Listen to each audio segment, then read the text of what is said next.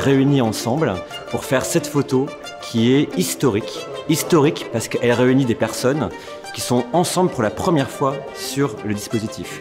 On a plus de 40 présidents de maison qui vont être là.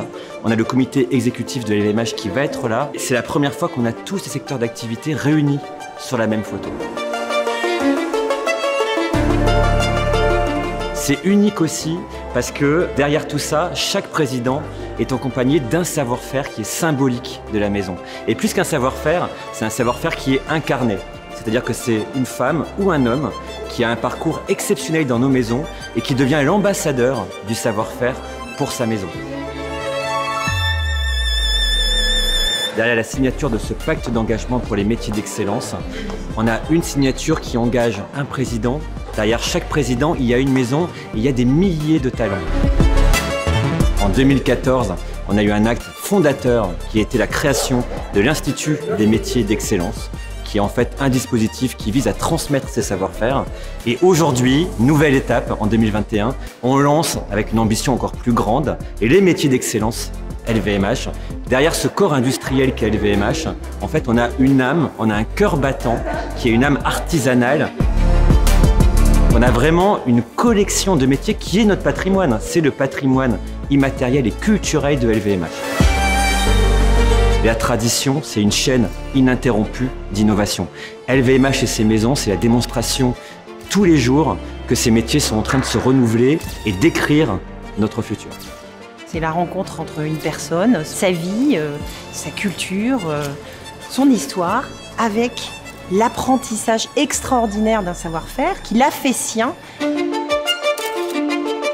Ce qui me fascine quand je vois Jean-Michel euh, travailler, c'est que bien évidemment il y a un travail de la main, mais il y a surtout un travail créatif. Et euh, ce n'est pas du tout euh, quelque chose que nous pourrions un jour, même dans mille ans, industrialiser.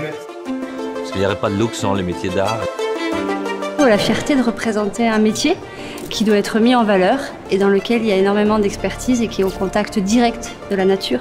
L'essence même de la maison, c'est transmettre ses savoir-faire. C'est presque l'âme de Garlin. Et l'âme de Garlin depuis presque 200 ans.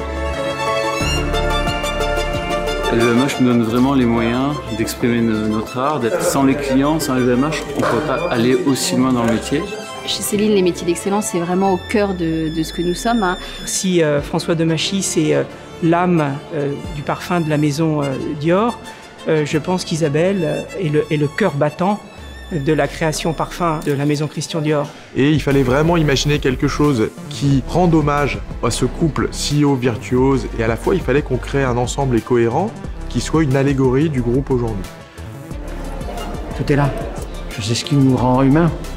Je suis heureux. C'est tout. Et on est fiers. Les métiers d'excellence, ce sont les savoir-faire principaux qui permettent au groupe LVMH d'avoir le succès euh, qu'il a aujourd'hui, euh, qui permettent de perpétuer un art de vivre, l'excellence euh, de savoir-faire artisanaux, portés par des femmes et des hommes dont l'engagement est absolument formidable.